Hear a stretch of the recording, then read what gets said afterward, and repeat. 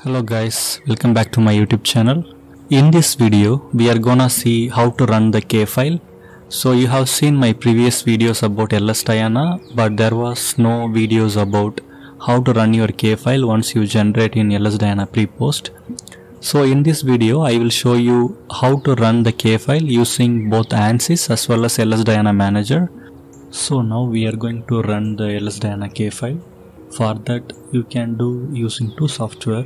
One you can directly run in LS-DYNA Manager, and the another one you can use ANSYS software. Now there are ANSYS student version where you can download freely and you can use uh, that software.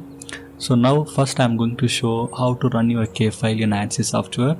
For that purpose, you have to open Mechanical APDL product launcher. Let's go and open the tool. So here you can see simulation environment.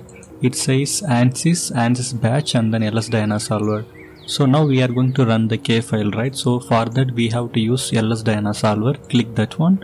Then here also you can choose multiple license. Mostly I use ANSYS LS-DYNA. So just click that one. So in my previous video I have uploaded some videos about deep drawing process. So I'm just gonna use some existed um, file and I'm gonna run the K file. So for that first you have to open your working directory. So now I'm going to open my existed folder. In my case I saved with the folder name with drawbait so I'm gonna select that folder name. Now I finished selecting my working folder. Now I have to select my input file. Here it says keyword input file. So for that I'm going to open my uh, file from my working folder. Let's do that one. So now I selected my uh, final file. So keep in mind that when you are running your LS-DYNA K file, you have to make sure that there is no spaces in your folder. For example, either it can be your working folder or the file where you saved. So make sure that there is no spaces. For example, here I put underscore in order to remove the spaces. Also, you can remove this one and then keep all the words together. But sometimes, you know, the wrong names will lead to some confusion. So for that, I just put the underscore and then I split the words and you can do the same. So the main thing, there should be no spaces in between the uh, names when you uh, name your folder. So now everything is perfect. Just run the file. In my case, I cannot show you how to run this one in the next step.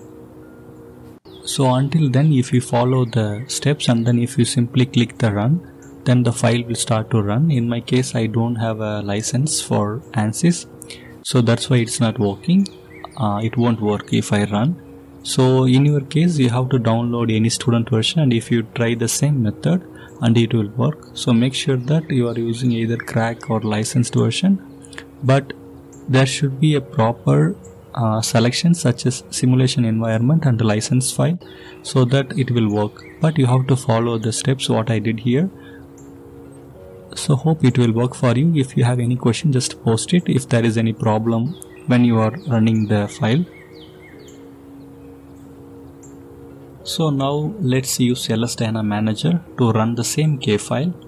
So for that I have to open my LS-DYNA manager so in order to run the same K file you can also use LS-DYNA program manager. So in this case if you see it says solver right? You just go there and then click start LS-DYNA analysis.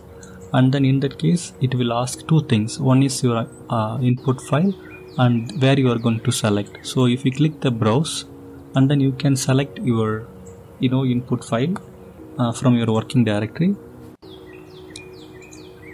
so I am using the same K file which I used for ANSYS. So you just simply click that file and then it will show uh, this is the input file what we have given and uh, in the same output folder we will get our outputs and then you just simply run. It will start to work. So you have to wait for some time. It's based on your computer speed. It will work so you try this method and then if you have any questions you please let me know and I will try to answer for your questions. Please subscribe to this channel if you haven't subscribed and then turn on the notification. So once I put a new video or tutorial you will get notified.